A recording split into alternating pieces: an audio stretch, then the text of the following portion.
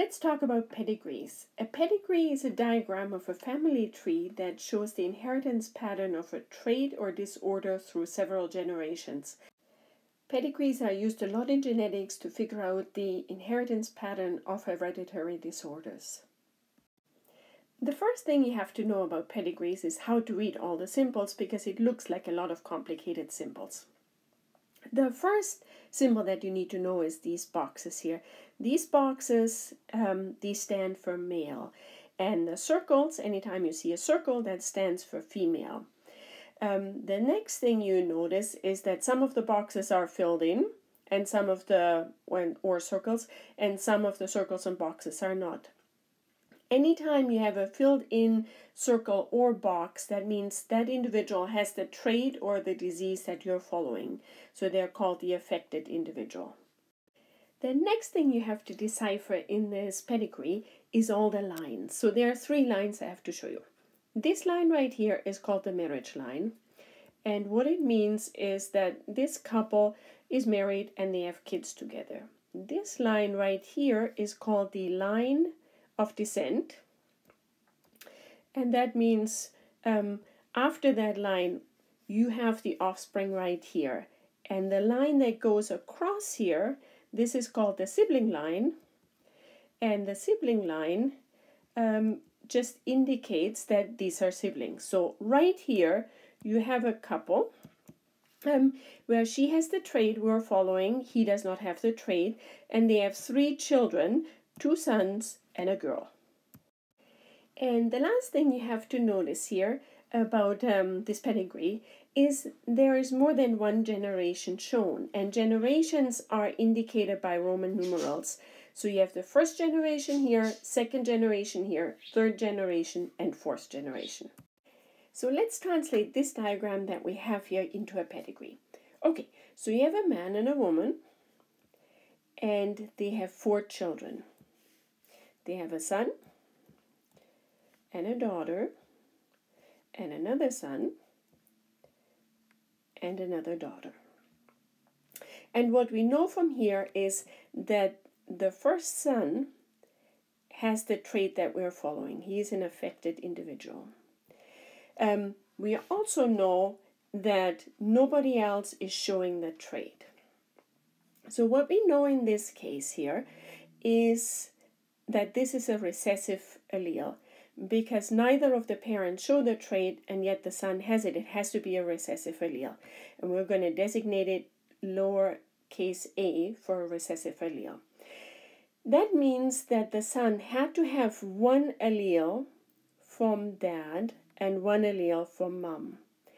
And since neither the mom nor the dad show the trait themselves, they have to carry the dominant allele as well. Otherwise, they would also be an affected individual.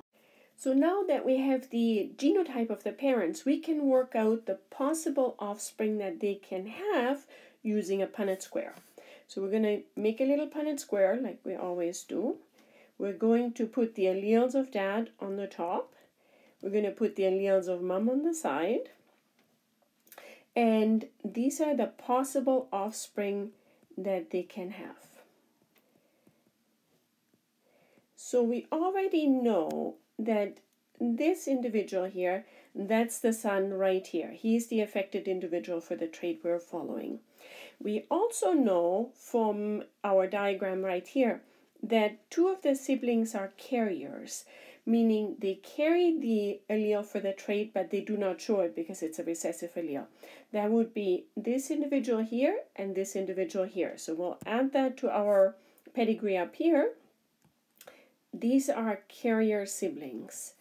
And then this individual here, which is this daughter, she's unaffected. She's not a carrier for the trait, nor does she exhibit it. So we're going to add this to our pedigree right here. So here is one important thing I want to tell you. This is how the pedigree would most often look when you look at them. However, sometimes in some pedigrees, you see these half colored in circles. And whenever you see a half colored in circle or square, that means this individual does not show the trait, but they are a carrier.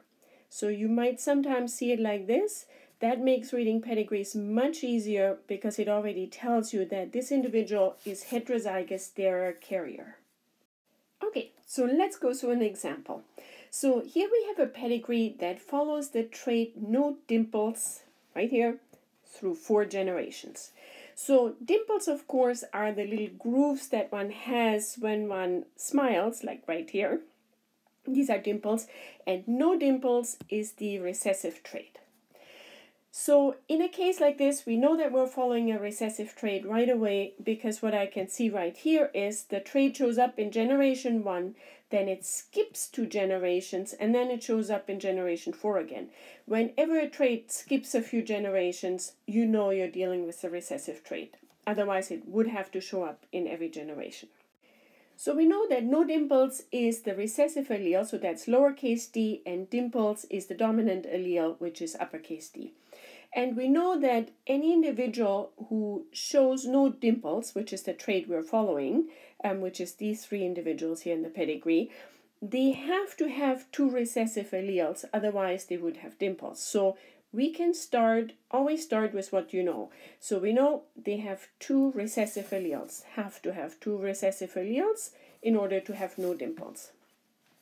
From that, then you can work backwards. You know that the parents of these two affected individuals, so the parents right here, they have to have passed on these recessive alleles. So one no dimple allele came from mom and one no dimple allele came from dad.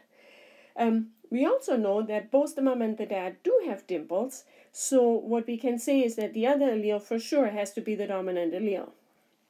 So we know that both of the parents are carriers for no dimples. What we also know with the siblings is that both of them have dimples. But what we can't say is whether they have two dimple alleles or whether they have one dimple allele and one non-dimple allele. And whenever in a pedigree something is possible, you have to write this in. Okay, so what else do we know? We know that this great grandmother had to pass on a no dimple allele to all her kids since she is homozygous recessive. And we also know that all of them, when smiling, had dimples, so we know that the other allele was a dominant allele since they all had dimples. And we know that the father, the great grandfather, he had at least one dimple allele. Um, Possibly he was homozygous or he was heterozygous, dimple allele, not, no dimple allele. Um, we do not know about this individual whether they were homozygous for dimples or heterozygous, but we do know that they had a dimple allele. Um, and the same holds true for this um, daughter of theirs. It could be either way. So this is how the pedigree would look. So you work backwards. Often you can work out the whole genotype, and sometimes it is uncertain, like in these cases. And when it's uncertain, you just put both possibilities down. All right, awesome job.